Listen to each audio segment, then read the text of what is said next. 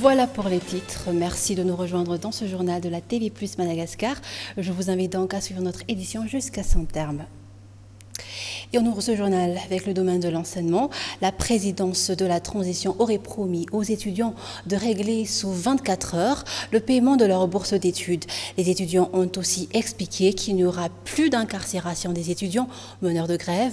Cette décision a été prise après une rencontre entre les représentants des associations des étudiants et le directeur général le secrétaire général de la présidence ce matin. Malgré la rencontre, la grève des étudiants de l'université a continué ce matin à Les détails avec Diamouna Genève et Joël Ranzatarville.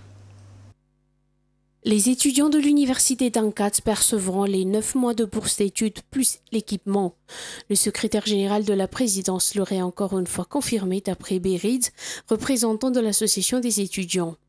D'après ses explications, une mésentente entre les responsables auprès du ministère de l'enseignement supérieur et ceux de la présidence a provoqué le non-paiement des bourses d'études. Une lettre a été envoyée à la présidence en date du 19 octobre dernier, mais sans aucune suite. Pareillement, le président de la transition aurait ordonné de régulariser le problème des étudiants, mais des responsables n'ont pas pris le problème au sérieux. Une fois que tout sera clair, le paiement sera effectué dans les 24 heures ou au plus tard 48 heures, ont rapporté les étudiants après une rencontre avec le directeur général et le secrétaire général de la présidence. Les représentants de la présidence tiendront incessamment une rencontre avec le ministère des Finances pour régulariser la situation. Les représentants des étudiants ont aussi soulevé qu'ils vont attendre la promesse de la présidence pour le paiement de leur bourse d'études. Ce qui est sûr selon leur dire, c'est que la grève ne cessera qu'une fois la bourse versée au service comptable de l'université. Durant la rencontre, les représentants des étudiants ont aussi expliqué ce matin à Boutsrouach qu'il n'y aura plus d'incarcération des étudiants meneurs de grève. Ce problème a été aussi évoqué durant la rencontre avec les représentants de la présidence, a toujours expliqué les étudiants. Malgré la rencontre, la grève des étudiants de l'université a continué ce matin à Ankatsu. Et toujours dans ce domaine de l'enseignement, le personnel d'appui et technique de l'université d'Antananarive a renforcé sa grève à partir de ce jour dans l'enceinte du campus universitaire. Le PAT reprendra son travail dès la perception de son salaire. Selon les explications de l'autre côté, la grève des étudiants a repris à un 4 qui s'est de nouveau soldé par des jets de pierre et des jets de gaz lacrymogènes. Mamtina Dibloul et Arfitra Koutmanal étaient sur place.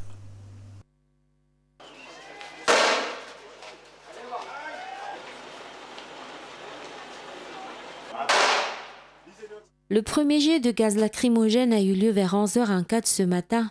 Après avoir tenu une réunion, une partie des étudiants qui ne s'étaient pas présentés à la rencontre entre l'association pédagogique des étudiants et la présidence de la transition est descendue à l'arrêt de taxi B119. Les étudiants ont ainsi commencé à ériger des barrages à la des voitures et des randins de bois. Tous les véhicules étaient donc contraints de repousser chemin suite aux menaces des étudiants. Face au désagrément causé par cette manifestation, les forces de l'ordre ont dû intervenir. Après avoir dispersé les étudiants par des jets de lacrymogènes, ces derniers ont de leur côté commencé les jets de pierre. Une situation qui, selon les étudiants, sera maintenue jusqu'au paiement de leur bourse et de leur équipement. D'un autre côté, le personnel d'appui technique ou pas de l'université d'Incat a également renforcé sa grève, le retard de paiement de leur salaire étant la cause de la manifestation. Ainsi, tous les services auprès de l'université enfermés, le PAD d'expliquer qu'il ne reprendra ses services qu'après le paiement de leur salaire. Ainsi, même si les bourses et les équipements sont débloqués, le PAD ne procédera pas à la distribution il restera en grève jusqu'à satisfaction de leurs revendications, selon les explications. Face à cette situation tendue au campus universitaire, une réunion entre le staff de la présidence de l'université et les doyens des facultés s'est tenue ce matin.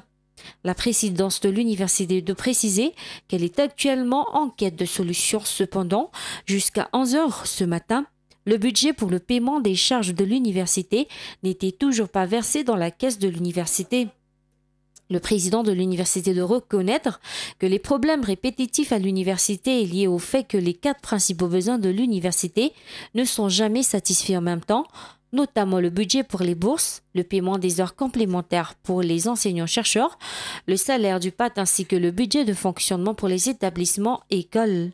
Ainsi, la présidence de l'université à l'ancienne appelle aux différents responsables de trouver une solution pérenne afin d'éviter les manifestations à répétition à l'université. Et maintenant, un sujet qui défraie la chronique actuellement. Seuls les taxipés regroupés au sein de la coopérative Comafila n'ont pas adopté le prix du ticket à 400 arrières.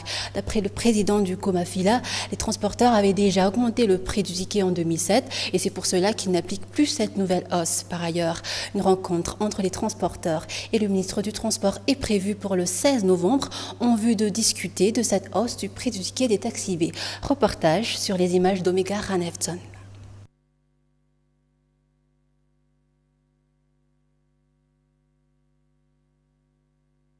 La quasi-totalité des transports urbains ont adopté la hausse du prix du ticket à 400 arrières, mais tôt ce matin, nous avons observé de longues files aux arrêts des taxis B.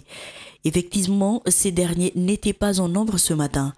La cause aurait été leur crainte d'éventuelles réactions hostiles des passagers relatives à l'application de la hausse du ticket à 400 arrières. Par ailleurs, seuls les taxis regroupés au sein de la coopérative Comafila, qui desservent l'axe Itos, Malau et Amat Foods, n'ont pas adopté le prix du ticket de 400 arrières. D'après le président du Comafila, les transporteurs l'avaient déjà augmenté en 2007 et ne l'ont plus fait cette fois-ci. D'après René Nazara Victor, président du Comafila, cette hausse intervient au mauvais moment et dans la coopérative, ils se sont souciés du pouvoir d'achat des passagers. Par ailleurs, une rencontre entre les transporteurs et le ministre du Transport est prévue pour discuter cette hausse du prix du ticket des taxis B. Les transporteurs débattront de la faveur qu'ils seront prêts à accorder aux personnes âgées et handicapées dans cette hausse des frais. En effet, la carte verte destinée pour privilégier les personnes âgées et les handicapés n'était plus considérée depuis 2009. Cette rencontre est prévue pour le 16 novembre prochain.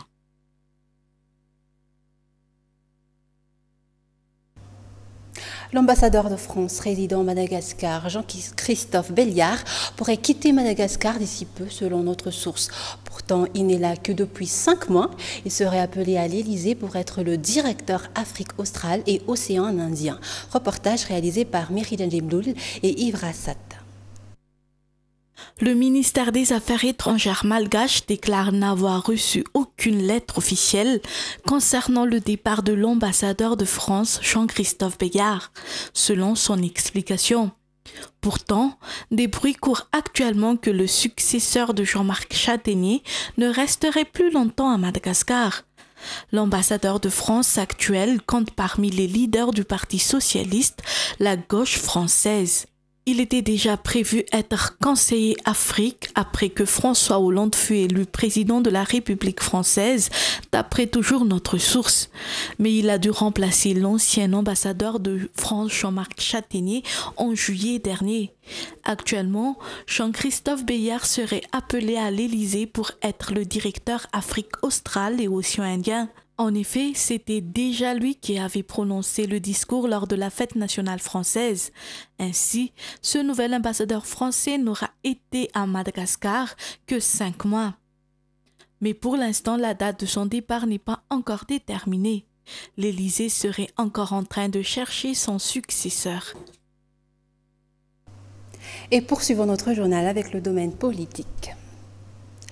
La feuille de route n'est pas appliquée correctement par le pouvoir exécutif, d'après le comité de suivi et de contrôle pour l'application de la feuille de route ou CAC lors de la rencontre avec la presse ce jour. Plusieurs faits sont encore observés. Ainsi, ce comité a proposé des recommandations pour une application plus intégrale et à bon escient de cette feuille de route, mais également sur les conditions d'éligibilité des membres du bureau du FFM au comité pour la réconciliation nationale. Reportage sur les images d'Omega Hanefton. Le 18 octobre dernier, le CSC a organisé un atelier avec les 10 signataires de la feuille de route pour une mise au point de l'application de ce document. Or, à l'issue de cet atelier, le CSC en est venu à la conclusion que beaucoup d'efforts sont encore à fournir. La feuille de route n'est pas appliquée à bon escient par le pouvoir exécutif, d'après le comité de suivi et de contrôle pour son application lors de sa rencontre avec la presse ce jour. Et à ce propos, le CSC indique que ces recommandations devraient être appliquées à la lettre en vue d'instaurer un climat d'apaisement pour les élections. Par ailleurs, le gouvernement a confié au CSC la responsabilité de restaurer la crédibilité du processus de sélection des membres du FFM.